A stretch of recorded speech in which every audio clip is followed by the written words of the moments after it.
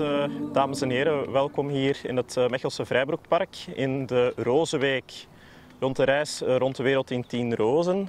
Wij zijn hier gevraagd naar aanleiding van de Rozenweek door het Provinciaal Groen Domein, het Vrijbroekpark en de provincie Antwerpen.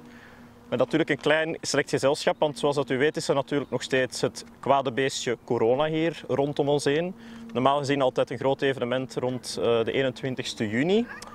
Maar uh, nu natuurlijk met een klein gezelschap, maar toch heel zeer fijne en mooie mensen. Weer een heel ander gezelschap dan uh, verleden jaar dat we hier mogen ontvangen. We hebben hier mensen uit binnen- en buitenland, zowel uit het Mechelse, als mensen vanuit Brugge dat we mogen hebben ontvangen, vanuit Nederland, Duitsland en het Antwerpse.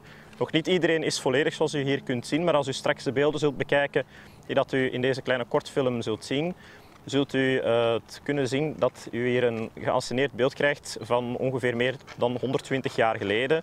De beelden van de fin de siècle, oftewel genaamd de Belle Époque. Belle Époque is een lange periode tussen 1871 en 1914. Maar de beeld dat u hier te zien krijgt is tussen de periode 1900 en 1905. Er zit een historische fotograaf straks in beeld die dat beelden neemt. Mensen die elkaar tegenkomen. Het was een periode om gezien en gezien te worden.